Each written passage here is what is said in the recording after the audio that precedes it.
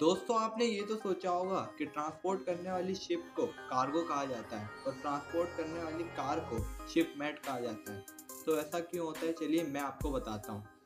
दरअसल, इन वर्ड्स की इब्तदा अलग अलग जबानों से होती है। कार्गो एक स्पेनिश जबान का लफ्ज है, जिसका मतलब लोड और कार रस है।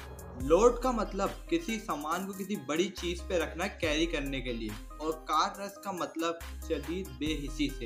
यानी कि आपने देखा होगा कि शिप जो होती हैं वो बहुत ज़्यादा बड़ी होती हैं। तो उन पर से ज़्यादा सामान लोड किया जाता है तभी उनको स्पेनिश जबान के लफ्ज़ कार्गो से मुखातिब किया जाता है। ये किसी कार से रिलेटेड नहीं है। और अगर आपको जानना है कि ट्रांसपोर्ट वाली गाड़ी को शिप मेट क्यों जा, कहा जाता है तो इस वीडियो का एम रखते हैं हंड्रेड लाइक और फिर वो आपको पार्ट टू में पता लगेगा। तो लाइक कीजिए, कमेंट कीजिए और सब्सक्राइब कीजिए।